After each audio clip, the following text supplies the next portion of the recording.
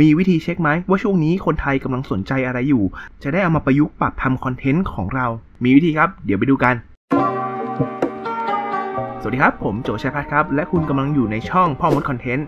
อย่างที่ผมพูดไปข้างต้นครับ เราสามารถเช็คได้ว่าช่วงนี้คนกำลังสนใจอะไรกัน หรือว่าคนไทยตอนเนี้ยกำลังแบบว่ามีอะไรที่มันดังอยู่ในประเทศไทยบ้างนะครับ เราสามารถเช็คได้ เพื่อที่จะเอาหัวข้อตรงนั้น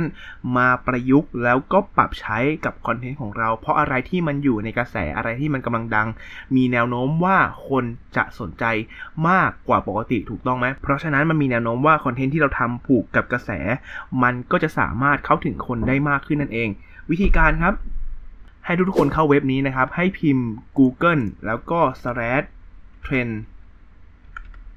ลงไปแบบนี้ครับ นี่ Google slash trend พิมพ์ลงไปในช่องค้นหาครับ แล้วมันจะเข้ามาที่หน้านี้ครับ พิมพ์ให้ถูกนะ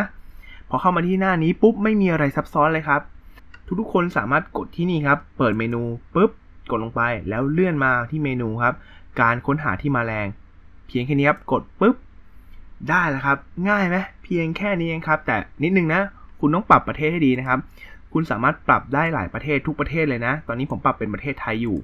เพราะเราทำคอนเทนต์ให้คนไทยนะ แต่ว่าถ้าใครนะครับทำคอนเทนต์ให้คนชาติไหนดู คุณสามารถเปลี่ยนได้นะ เปลี่ยนไปตามประเทศนั้นได้เลย สมมุติว่าผมจะเป็นสหรัฐอเมริกาคลิกลงไป เห็นไหมครับ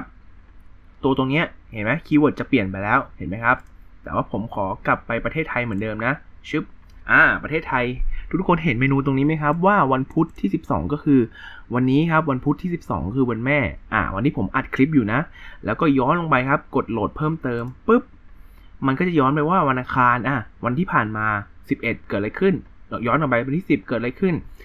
วันอ่าให้ย้อนไปเรื่อยก็ 9 เกิดอะไรขึ้นอ่า8 7 เห็นไหมครับ มันก็จะมีอัตราการค้นหาขึ้นให้เราดูเนี่ย สมมุติว่าผมดูวันนี้ปุ๊บ วันพุธที่ 12 เนี่ย โหคีย์เวิร์ดคำว่าแม่เนี่ยวันแม่เนี่ย การค้นหา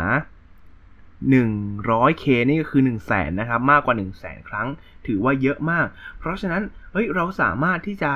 เอาวันแม่ไปทำได้ แต่อันนี้มันเป็นเฉพาะวันนะ เพราะ 12 สิงหามันวันแม่อยู่แล้ว การค้นหาวันแม่ก็ต้องเยอะขึ้นเป็นธรรมดา ถูกต้องไหมเนี่ย แต่คุณสามารถเอาพวกนี้ไปทำได้ เห็นไหมครับ เนี่ย เนี่ยอวยพรวันเกิดแม่สามารถเอาไปทำเป็นแบบว่า วิธีทำการ์ดอวยพรวันเกิดแม่อันนี้สมมุตินะครับ สมมุตินะหรือหรือว่าคุณทำคอนเทนต์ออกกำลังกายเงี้ยวิธีชวนแม่ไปออกกำลังกาย หรือว่าวิธีอ่าสิบท่ากายบริหารออกกำลังกายกับแม่เห็นไหม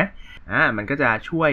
ให้คนสนใจได้มากขึ้นนะครับ หรือว่าวันนั้นมีอะไรที่มันแบบน่าสนใจอย่างเช่นแบบดอกมะลิเงินอุดหนุนบัตรอะไรอย่างเงี้ยเนี่ยคุณสามารถเอาไปดูได้เลยครับ อันนี้เป็นเบื้องต้นนะที่คุณสามารถเช็คได้ว่า เฮ้ย keyword ไหนที่กำลังมาแรงเราสามารถเอามาประยุกต์กับคอนเทนต์ของเราได้นะครับโอเค วันนี้ก็เป็น trick สั้นๆนะง่ายๆ ที่ทุกคนสามารถเอาไปลองทำได้ แล้วเดี๋ยวในวันต่อๆไปนะครับ เดี๋ยวผมจะเอา trick การค้นหา keyword เจ๋งๆเนี่ยเพื่อพัฒนาการทำคอนเทนต์ของคุณให้เกิดผู้ติดตามมากขึ้น หรือว่าขายของได้มากขึ้นนะครับ แล้วก็เดี๋ยวเจอกันในวันต่อๆไปนะครับ ถ้าชอบแล้วก็ไม่อยากพลาดความรู้แบบนี้นะครับ อย่าลืมกดติดตาม Facebook Fanpage หรือว่าช่อง YouTube พ่อมดคอนเทนต์ของเราไว้ด้วยนะ เราจะลงคลิปใหม่ๆ แบบนี้นะ ทุกวัน7โมงเช้าได้เลยครับ เตรียมรับไอเดียในการทำคอนเทนต์ในการทำการตลาดเพื่อทำให้คุณเป็นที่รู้จักมากขึ้น หรือว่าขายของได้ดีมากขึ้นนะครับ โอเค วันนี้ผมก็ต้องขอตัวลาไปก่อนเจอกันใหม่ในคลิปหน้า สวัสดีครับ